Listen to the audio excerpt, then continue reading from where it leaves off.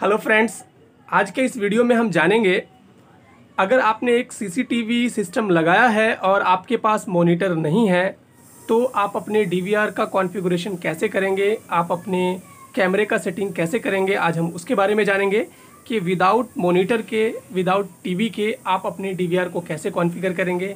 आप अपने कैमरे का एंगल ऑफ़ व्यू कैसे एडजस्ट करेंगे, उन सारी चीज़ों के बारे में जानेंगे। मैं हूँ शाकिब, आप देख रहे हैं मेरा यूट्यूब चैनल शाकिब टेक तो चलिए वीडियो को शुरू करते हैं। उसके लिए आपको सबसे पहले एक डीवीआर लगेगा। तो देखिए, ये हमारा डीवीआर है। आज हम इस डीवीआर का इस्तेमाल करके, ये हमारा देखिए सिक्सटीन चैनल का हमारा ये डीवीआर है सीपी प्लस का। तो इस डीवीआर का इस्तेमाल करके हम आपको बताएँगे कि आप अपने डीवीआर को विदाउट मोनीटर के कैसे कॉन्फ़िगर करेंगे। उसके लिए आपको लगेगी दूसरी चीज़, एक आपको लैंड केबल का इस्तेमाल लगेगा। दूसरा जो आपको लगने वाला है, एक लैपटॉप का आपको इस्तेमाल लगेगा। तो आज हम यूज़ करेंगे, ये देखिए हमारा एक लैपटॉप है।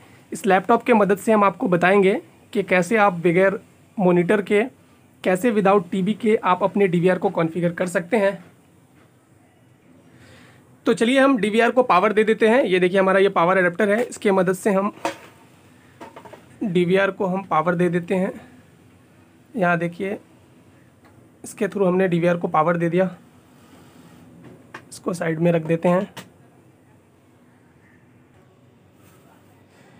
तो देखिए, आप देख पा रहे होंगे, हमारे डीवीआर में पावर आ चुका है। चलिए, अब हम लैपटॉप को ऑन करते हैं। ये देखिए, हमारा लैपटॉप है, इसको चालू कर लेते हैं।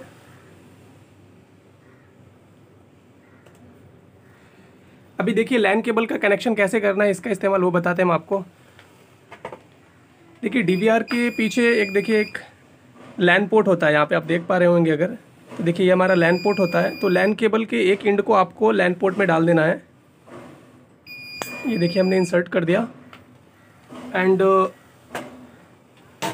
दूसरे पोर्ट को, ये देखिए, हमारा दूसरा पोर्ट है, उसको लैपटॉप के अंदर देखिए, एक लैन पोर्ट लैपटॉप के भी अंदर होता है, आप देख पा रहे होंगे।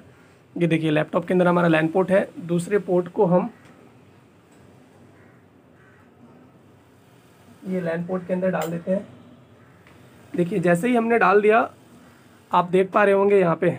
देखिए, अगर मैं आपको थोड़ा करीब से दिखाऊँ तो ये देखिए, ये हमारा, देखिए, ये कनेक्शन यहाँ पे ये शो हो चुका है। देखिए, आप देख पा रहे होंगे, यहाँ पे हमारा कनेक्शन शो हो चुका है। चलिए, हम आपको बताते हैं अब इसको कैसे लॉगिन करते हैं। तो चलिए अब हम कंप्यूटर के ऊपर आ चुके हैं।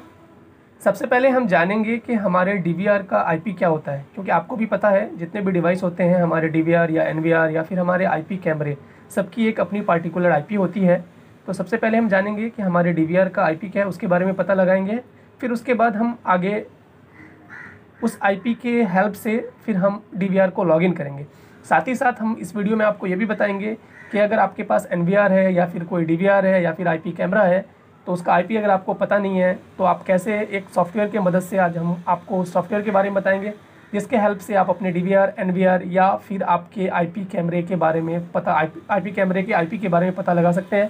सी पी प्लस के केस में जो सॉफ्टवेयर आता है, उसका नाम है आई फाइंडर टूल ये देखिए आप हमारे डिस्प्ले के ऊपर देख पा रहे होंगे, ये आई फाइंडर टूल है, जिसके मदद से आप सी पी प्लस के D V R N V R I P कैमरे की आई पी को आप पता लगा सकते हैं। साथ ही साथ उसके मॉडल नंबर के बारे में आप यहाँ से जान सकते हैं, उसके मैक एड्रेस के बारे में यहाँ से जान सकते हैं। तो चलिए हम आई पी फाइंडर टूल्स को ओपन करते हैं और अपने डी वी आर के आई पी को पता करते हैं। तो चलिए हमने I P finder tool open कर लिया है। हमारे आई पी फाइंडर टूल का इंटरफेस ओपन हो चुका है। तो देखिए यहाँ से हम रिफ़्रेश कर देते हैं। ये देखिए, ये रिफ़्रेश बटन है। आप देख पा रहे होंगे, यहाँ पर हमारा एक डिवाइस यहाँ पे फाउंड हो चुका है। हमारे जो डी वी कनेक्ट है एंड यहाँ पे उसकी आईपी भी आ गई है। ये देखिए, हमारा जो ये DVR का आईपी है, वो है 192.168.1.100 साथ ही साथ आप देख पा रहे होंगे, यहाँ पे लेफ़्ट साइड में इसका मॉडल नंबर भी दिया हुआ है और हमने जैसा कि आपको बताया कि यहाँ से आप अपने मैक एड्रेस के बारे में भी पता लगा सकते हैं। आपके नेटवर्क के अंदर जितने भी डिवाइस कनेक्ट रहेंगे, सारे डिवाइस यहाँ पर आपको शो हो जाएँगे। यहाँ पे अभी हमारे नेटवर्क में फ़िलहाल हमारा एक डीवीआर सिर्फ़ कनेक्ट है तो हमारा यहाँ पे देख पा रहे होंगे आप, यहाँ से हमारा डिवाइस आ चुका है। तो चलिए, अब हमें पता चल गया हमारे डीवीआर के आईपी के बारे में तो इसको हम लॉगिन करते हैं।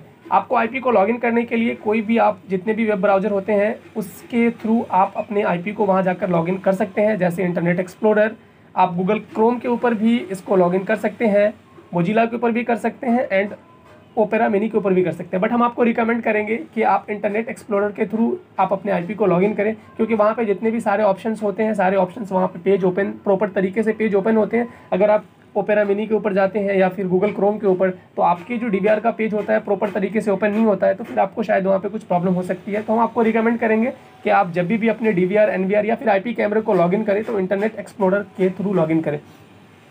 आप देख पा रहे होंगे, यहाँ पे एक ऑप्शन दिया हुआ है वेब लॉगिन का। आप इसके ऊपर भी क्लिक करेंगे तो डायरेक्ट आपको ये इंटरनेट एक्सप्लोरर के ऊपर लेके जाएगा और वहाँ पे आपका डी का पेज लॉगिन हो जाएगा। तो चलिए हम इसके ऊपर क्लिक करते हैं वेब लॉगिन के ऊपर, फिर देखते हैं क्या होता है। अभी देख पा रहे होंगे, यहाँ पे हमारा जो ये सी पी प्लस डीवीआर का जो पेज लॉगिन हो चुका है। जैसा कि आपके मोनीटर के अंदर होता है, वहाँ पे आपको लॉगिन करना होता है यूज़र नेम डालकर और पासवर्ड डालकर, वैसे ही यहाँ पर भी है। ये देखिए, हमारा user name by default admin आ चुका है। यहाँ पर हमें पासवर्ड डालना है। तो चलिए, हम पासवर्ड डालते हैं अपने डीवीआर का। आपके डीवीआर का जो भी पासवर्ड है, आप यहाँ पर डाल देंगे। तो चलिए, हम डीवीआर का पासवर्ड डाल देते हैं। यहाँ पे एक और प्लस पॉइंट दिया हुआ है कि यहाँ से आप अपने पासवर्ड को व्यू भी कर सकते हैं। कि आपने क्या पासवर्ड डाला है? तो आप यहाँ से चलिए, हम आपको दिखाते हैं कि हमने क्या डीवीआर का पासवर्ड डाला है। तो देखिए, यहाँ से आप व्यू कर सकते हैं। पता लगा सकते हैं कि आपने अपने डीवीआर का पासवर्ड क्या डाला है।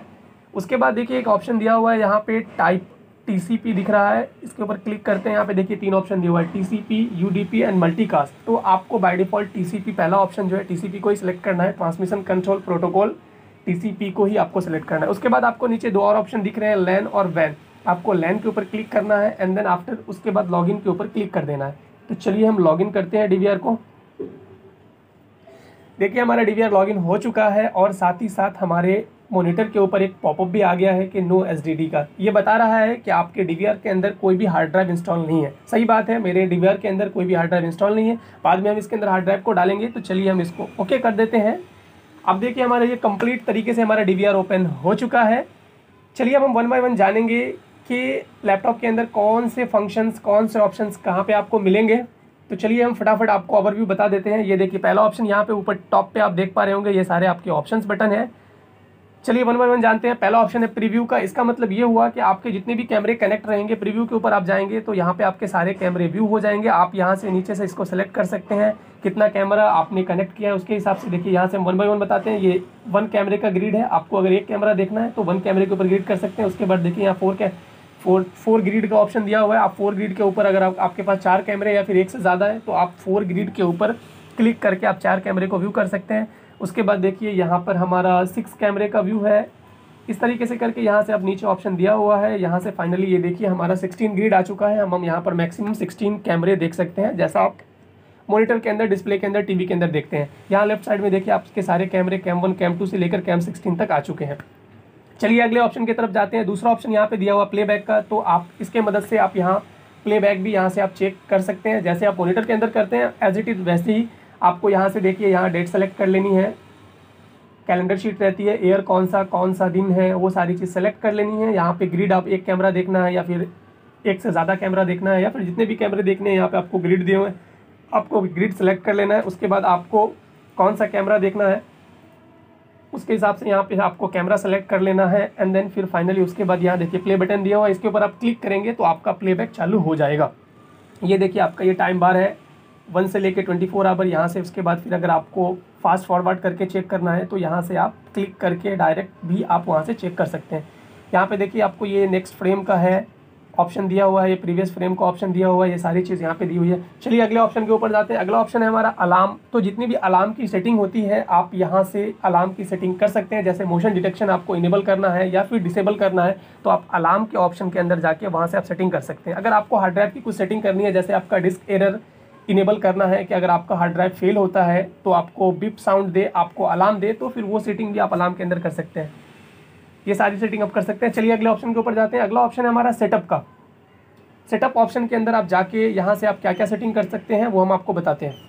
ये देखिए हमारा सेटअप का ऑप्शन खुल चुका है। सेटअप के अंदर यहाँ पे बेसिकली लेफ़्ट साइड में आप देख रहे होंगे, यहाँ पे चार पाँच ऑप्शन दिए हुए पहला रिमोट है, दूसरा आप रिमोट नेटवर्क की सेटिंग यहाँ से कर सकते हैं इवेंट की सेटिंग स्टोरेज की और सिस्टम की सेटिंग कर सकते हैं।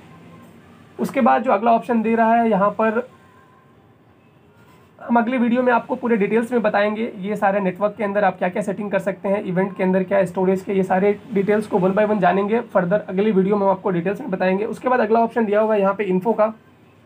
इन्फो के अंदर जाके आप जान सकते हैं कि आपका डिवाइस का टाइप क्या आई I मीन mean, कि आपका डिवाइस का मॉडल नंबर क्या है कितने चैनल का आपका डी है उसका हार्डवेयर वर्जन का क्या है और उसका सीरियल नंबर भी आप यहाँ से पता लगा सकते हैं। और सिस्टम का वर्जन ये सारी चीज़ आपको जो भी आपके डीवीआर के बारे में इंफॉर्मेशन लेना है, वो आप इन्फो के ऑप्शन के अंदर जाके आप वहाँ से पता लगा सकते हैं।